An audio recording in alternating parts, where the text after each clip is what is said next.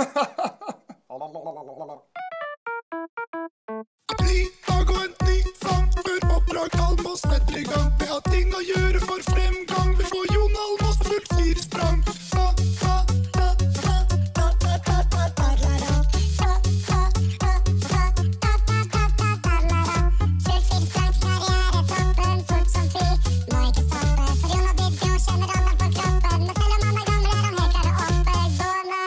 Oppdrag Almås, altså.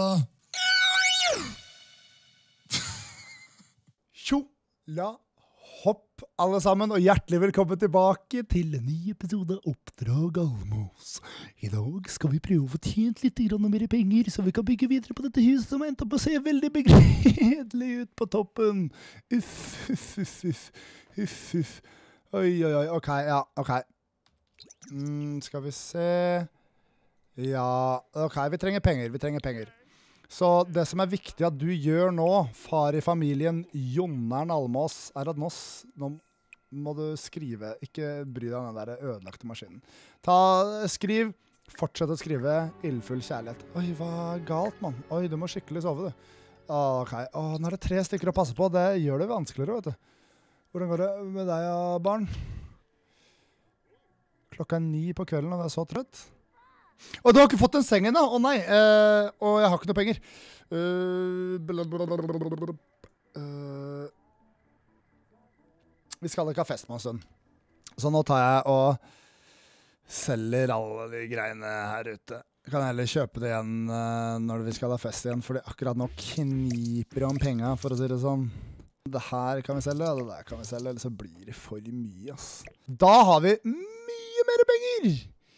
Og da kan vi gjøre ferdig rommet til Lilleputt. Å, det er dyrt med vegger, ass! OK, der kan du bo.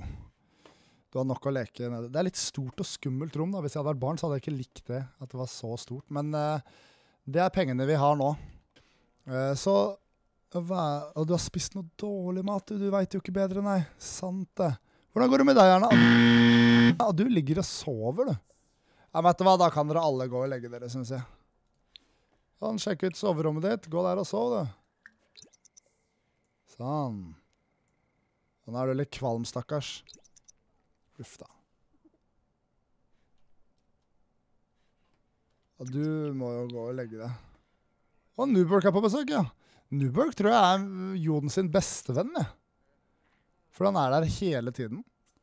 Nå er begge blitt gamle og Ja, Ja, ja, ja, ja, ja, ja, ja, ja. Men uh, det hadde vært en fordel om Newbrook ikke var der. Det hadde gått litt fortere å sove. Men han skal være der. Nei, hva er galt? Ukomfortabel? Oi, nå holder det på øh. Oi, hva skjedde nå? Han er redd for å sove alene, er det det? Det er ikke så rart. Står det sånn gnom borti hjørnet der, og OK.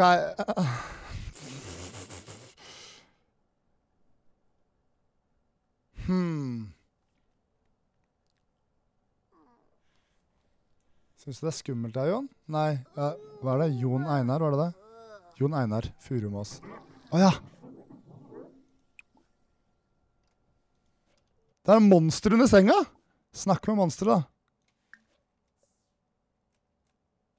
Så kommer du også opp. Du kan ikke se det, nei.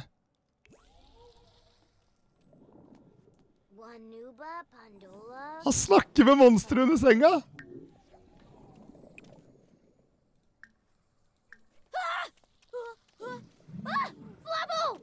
Det er helt genialt!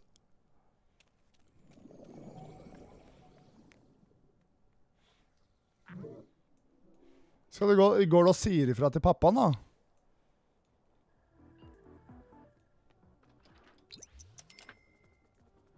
Hvorfor kommer ikke vaskedama?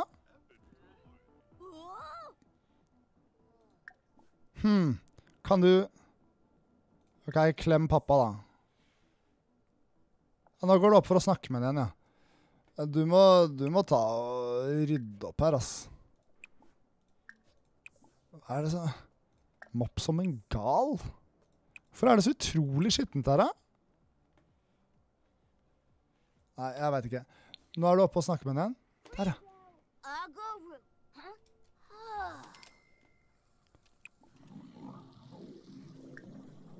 Snakk masse med monsteret.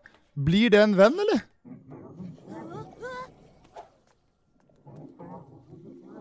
OK, jeg dropper det, da.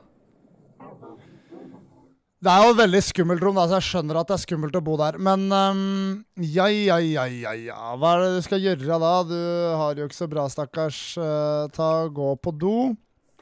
Uh, og så må mamsen lage noe mat til deg. Nei. Server Nei, du kan ikke servere nå. Så utrolig rotete det er. Går du opp til Hæ? Bare ikke jeg går på do, da? Frokostblanding. Skal du absolutt opp og snakke med monsteret igjen? Nei? Det er, det er så gøy. Altså, se nå, nå, nå har jeg på han. Da ser du monstrene i senga.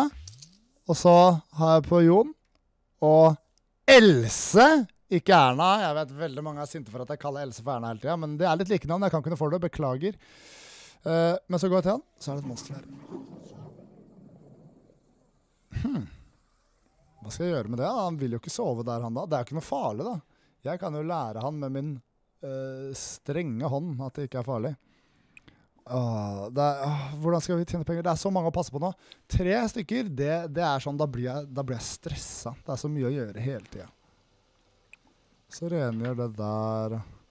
Det er ikke særlig rent der nå, ass. Har vi ikke vaskemaskin? Jo da.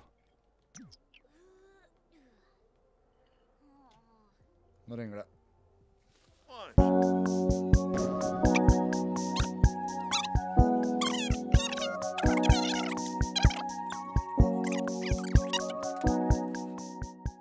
OK, jeg, tar og, jeg tar og flytter soverommet til uh, Jon og Erna oppå, jeg.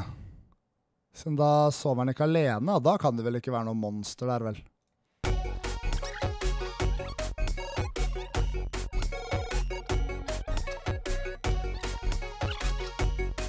Øh, dyrt.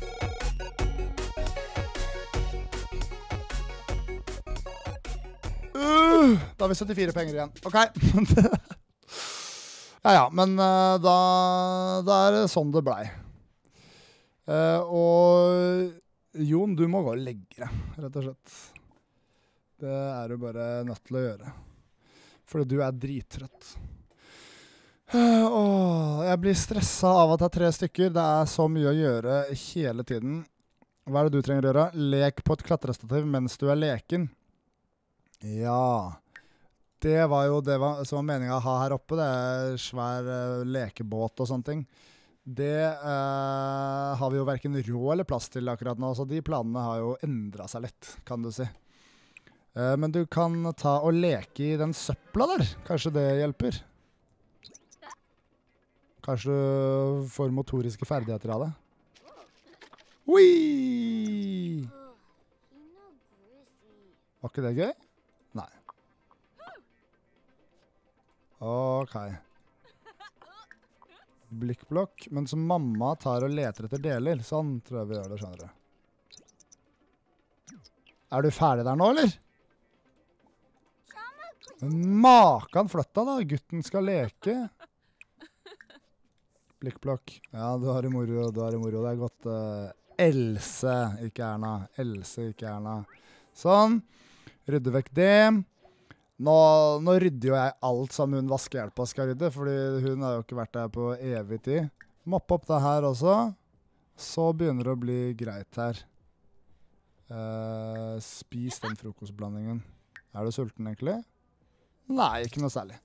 Men uh, du kan ta og male litt, fordi er det én ting som er helt sikkert, så er det at vi trenger mer peng.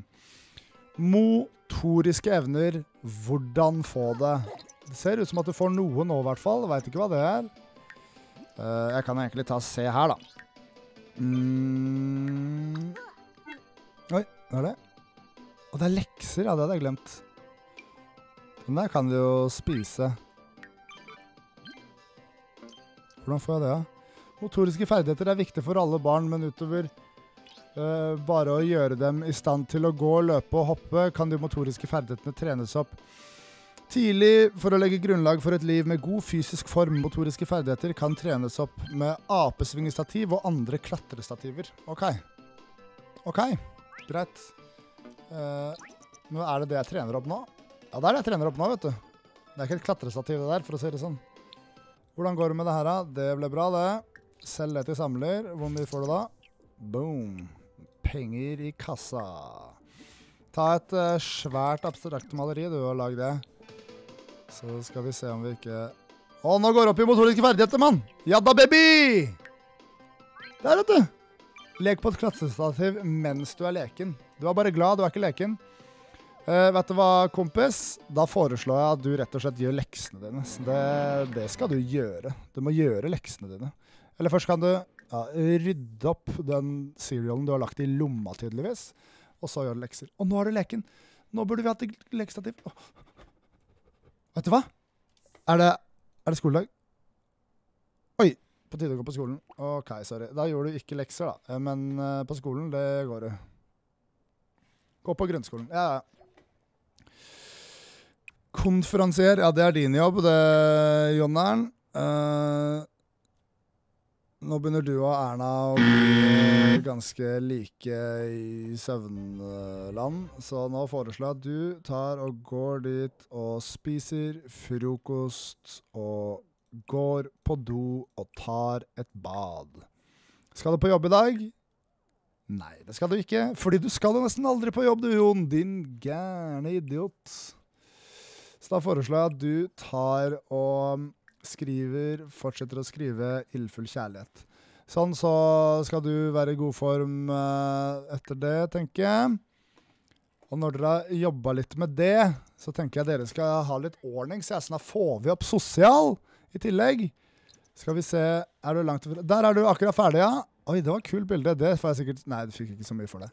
Ja, ja. Og kom til matlaging nivå 10. Det betyr at du har levd lenge, det. Uh, OK.